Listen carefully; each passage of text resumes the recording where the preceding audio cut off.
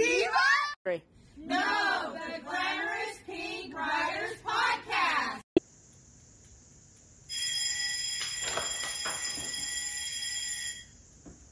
Honey, the show's about to start. Come in, dear. Let's get ready to shake, rattle, and roll with Graceland Glamour Girl, the one who puts the CC in rider, Miss Cece Glamour.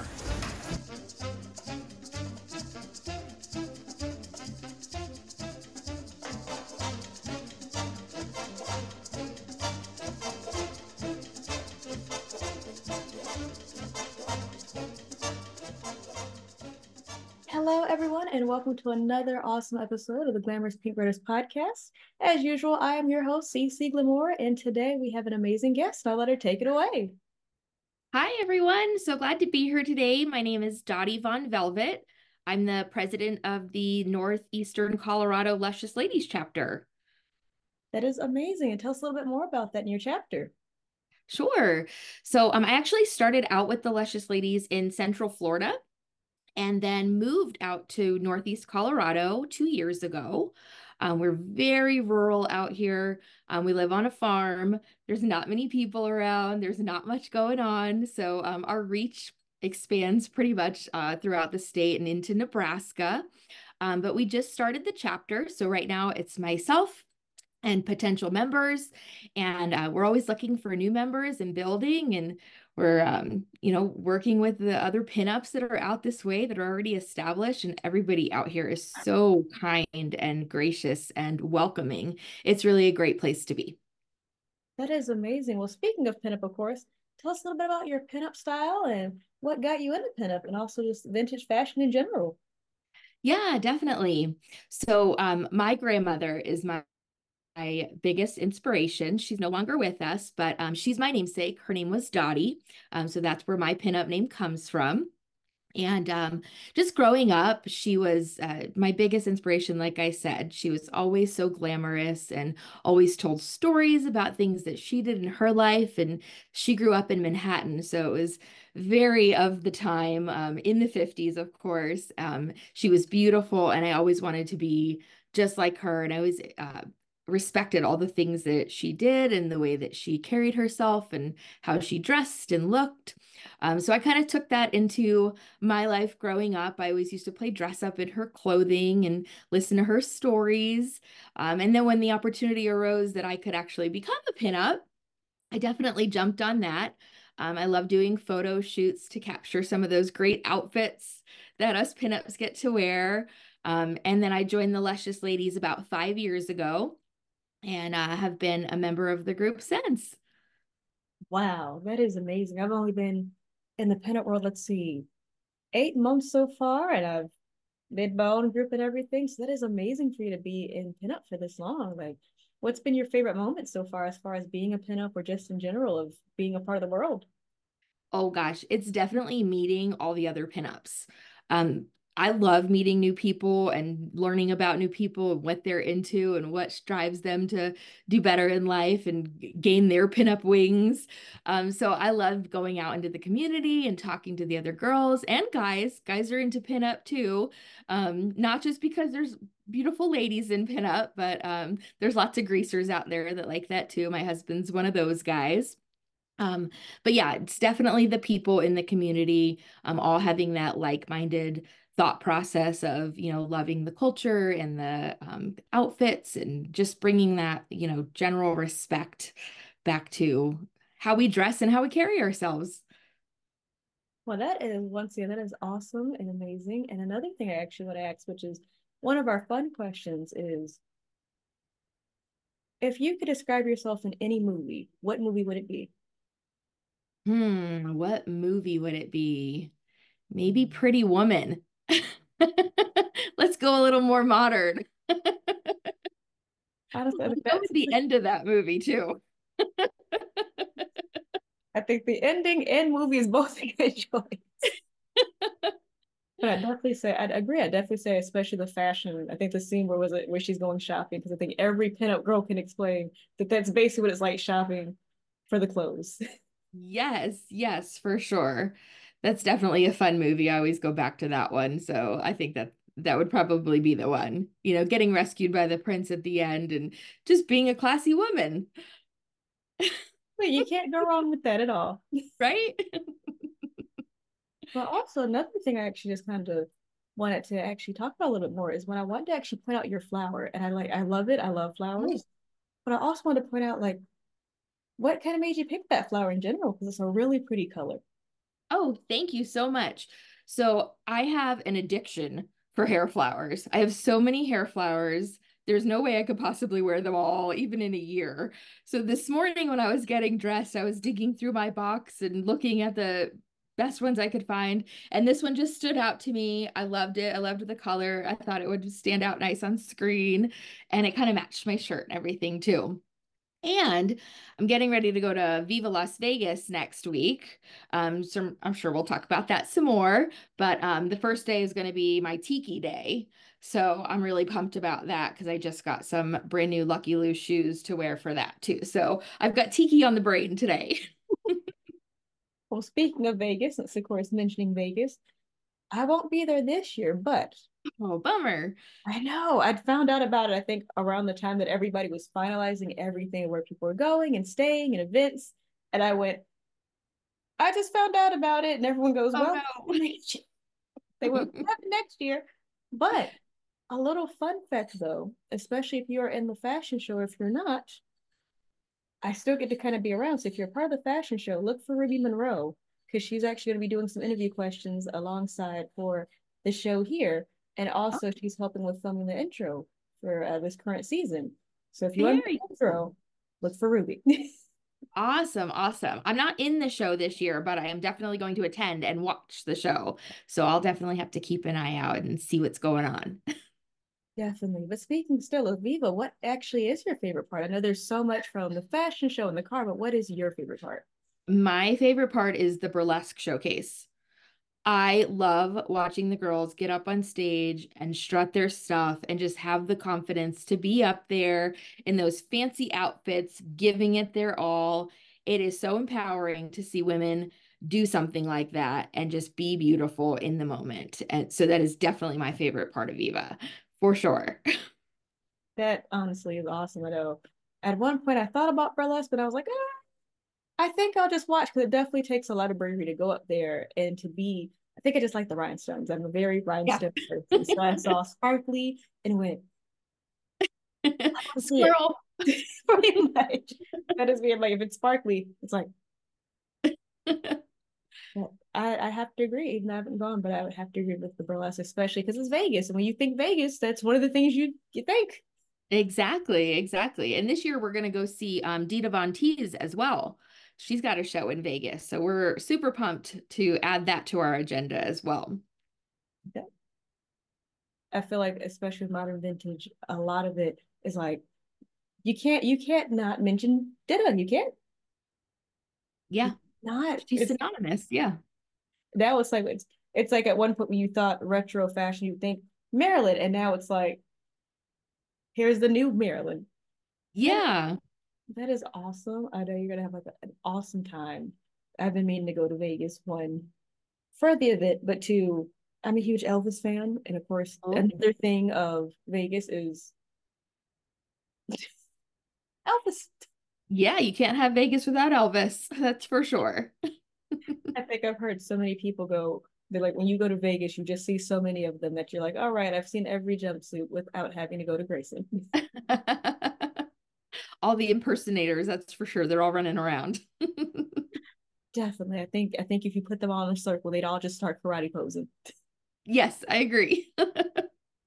But speaking of music, also, what what song do you think describes you as well?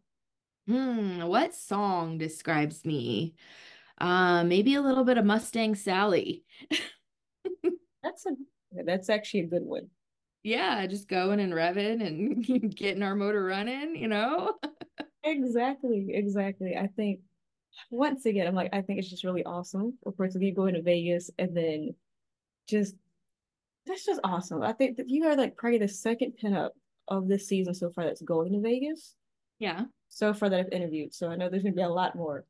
But another thing too that I also uh, like to ask, because of course when people think pinup, they all think, oh, we all are just pinup girls, and that's not it. We have everyday lives like everyone else. But what is a special talent that you have that nobody knows?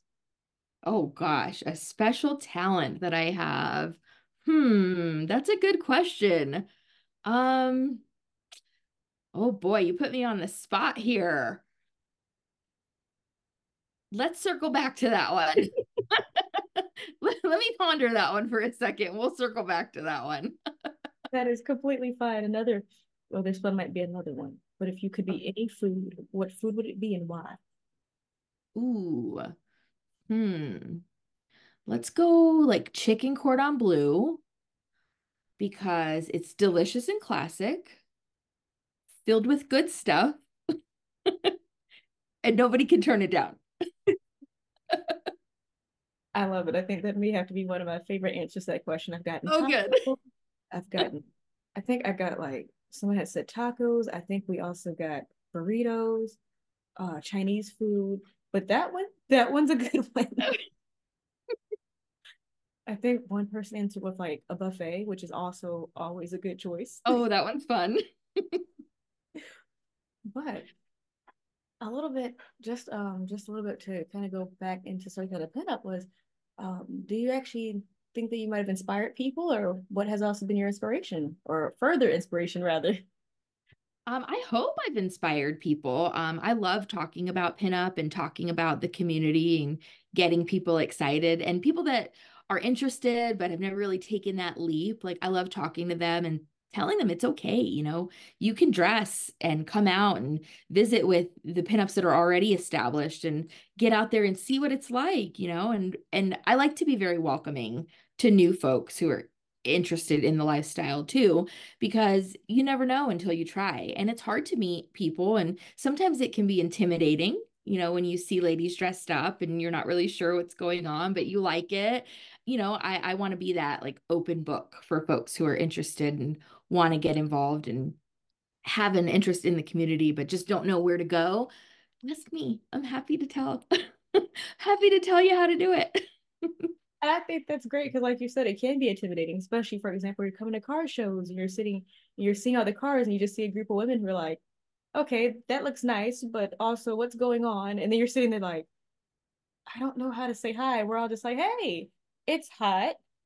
We're in these really nice dresses. Do you happen to have like a Kleenex to fix my red lipstick?" Yeah. Yes. What's always funny to me is people will say, "What? Why are you in a costume? What's this costume about?" And it's like, "Well, it's not really costume.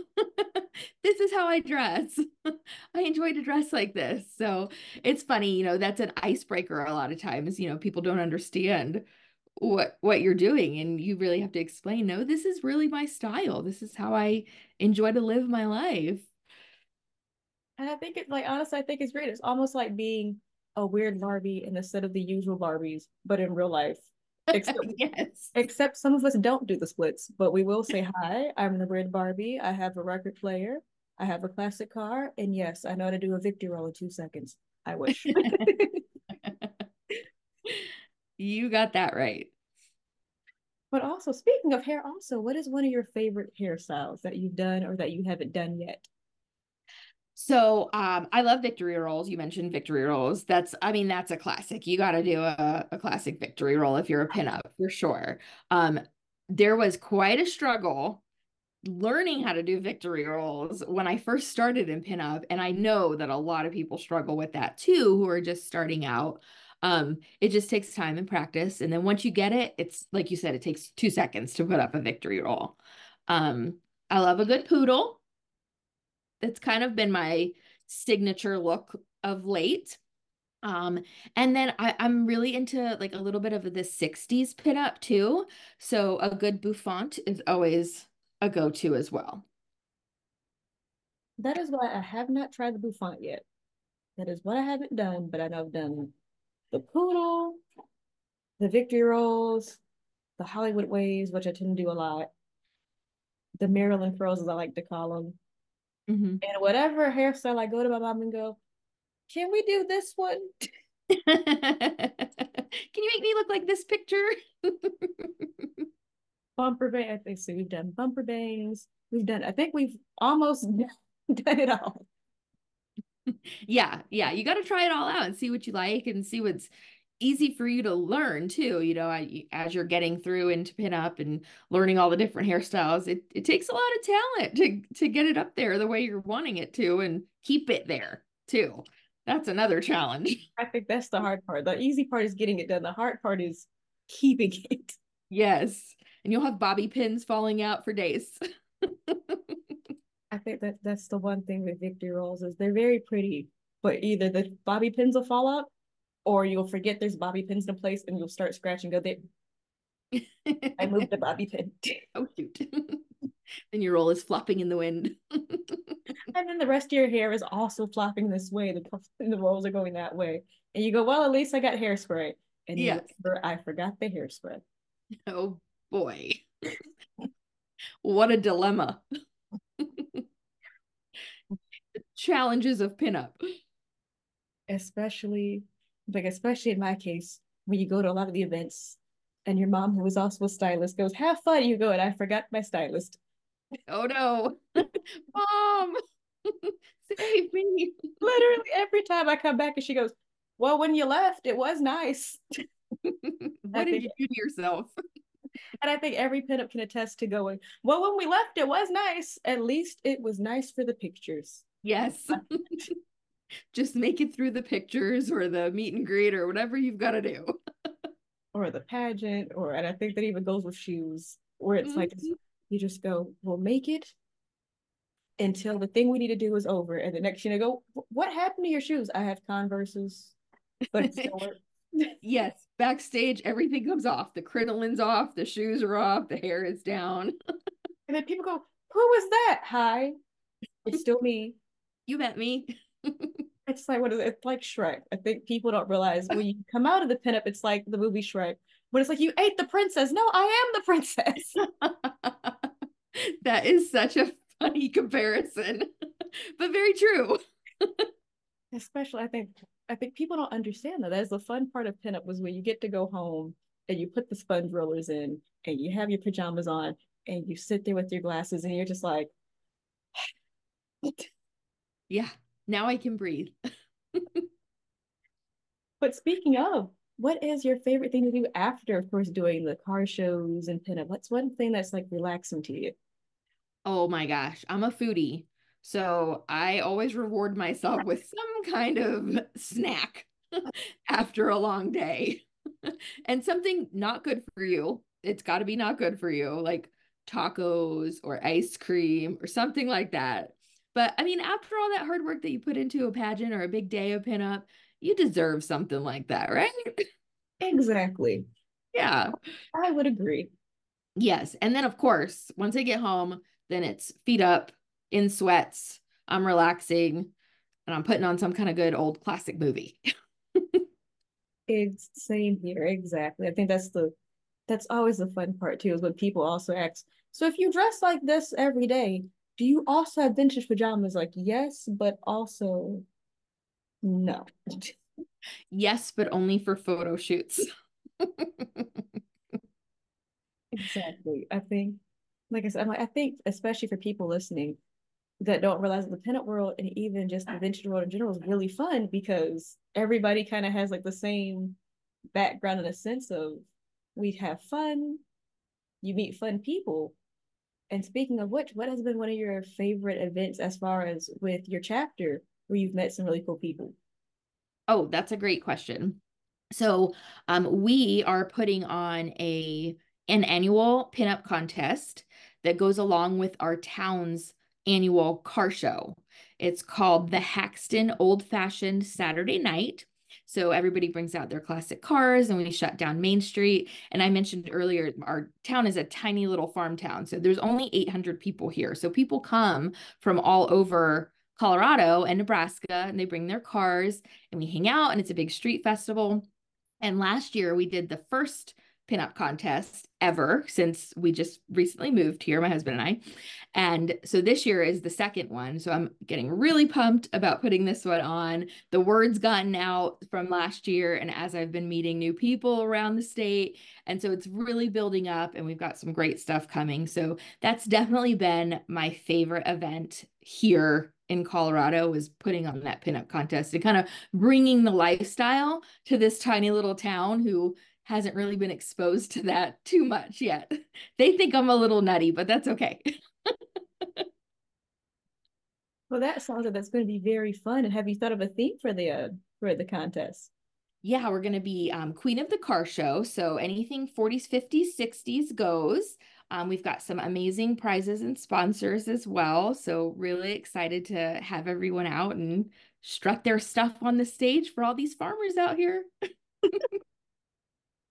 well, that sounds awesome. And speaking of just in general, actually, speaking of not even just pageants, but favorite outfit, because I know there's so many as a pinup, but what's your go to?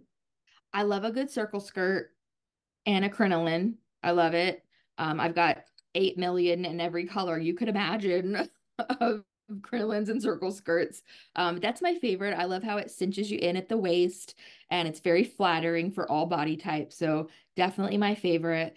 And I love a good top that's got a V neck as well. So anything that's got the V, I'm into it. Ooh, I definitely like that. And also, because I noticed your earrings, they're really cute. Favorite of earrings? My favorite pair of earrings. Um, I've got some true vintage ones that I really love. Um, they're the clips or the screwbacks. Um, I've got a, a, few different pairs. I've got one that's like uh, a big cluster of baubles and it's all pink stones. So those are probably my favorite, but they hurt. Oh my gosh. They're the screwback ones and they just kill you. You can only wear them for like a contest or you know a real quick photo shoot or something like that then you're like oh my gosh i gotta take them off. I don't know how ladies did it back in the day but i'm not that strong.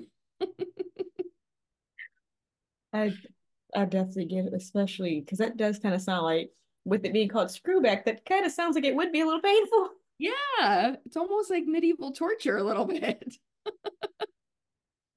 Well we have one of our hardest questions.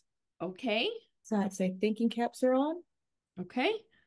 So if you could have dinner with any historic figure, who would it be and why? Ooh, historic figure. I mean, I'd probably have to go back to Marilyn. I mean, she's the iconic pinup ever, the most iconic pinup ever. I'd love to pick her brain about her experience in life and her movie roles and all of the things that she did to better herself and make a name for herself and you know all of the hardships too that she had to endure in doing so. You know i would love to hear her perspective firsthand for all of those things and what pinup wouldn't love to talk to marilyn. Exactly i think i would have to agree. I think marilyn also would be a very fun person to have dinner and like you said pick her brain a little bit because there's a lot different from film from when she was doing it from now. I mean, they had clocking cards, which is amazing. Mm-hmm. Yeah. But as usual, it was amazing to have you on the show. And I had fun talking to you, and I hope that you had fun as well. Thank you so much. I had a blast chatting with you today. And thank you so much for having me on and letting me talk a little bit about my experience in pinup.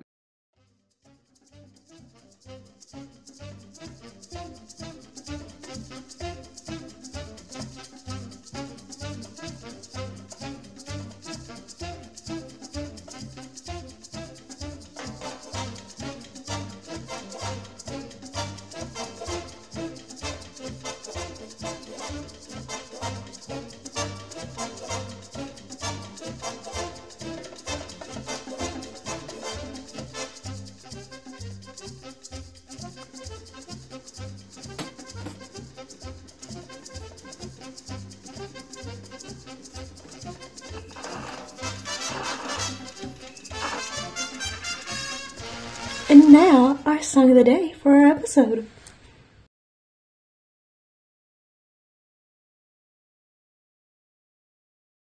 It's a nice way to like get your especially if you want to like give voices to characters like even if you want to just do like comic dubs or just original animations on like YouTube uh it's like it's a really good outlet to get yourself out there especially if you want to like get to the you know big leagues because that's always like a huge debate where it's like is it like genuine voice acting yes it is like if you do comic dubs yes you're a voice actor I mean I would know so yeah Exactly. I think that's a piece that people don't really understand or get it, or they kind of have this look of, well, if I've never heard of you, then therefore it's not real. And it's like you have to remember the voice actors you know now were people you never heard of either. So everybody has to start somewhere. So it's like if one person at least has heard you, congratulations, you are a professional voice actor. Mm-hmm. Yep. Like it's like I always say, like with uh cosplay too, like the whole cos like closet cosplay stuff. Because like there's always that debate where it's like, oh, you need to buy your cosplays online or you need to hand make them yourself. Like there's no real right way to do it. You just do it. That's literally it. You you just just sit down, you think of something and you do it. That's just how it is. Exactly. And even like you said, to piggyback on the uh,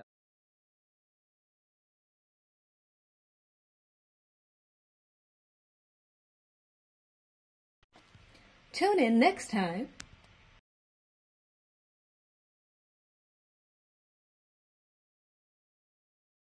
yeah, it's definitely the people in the community, um, all having that like-minded thought process of, you know, loving the culture and the um, outfits and just bringing that, you know, general respect back to how we dress and how we carry ourselves.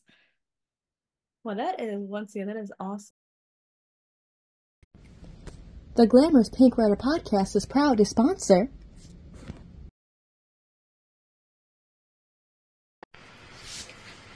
And don't forget, you can watch us on any network you get your podcast on, such as Spotify, iHeartRadio Podcasts, Castbox, YouTube, all under the Glamorous Pink Riders podcast, brought to you by Cece Glamour.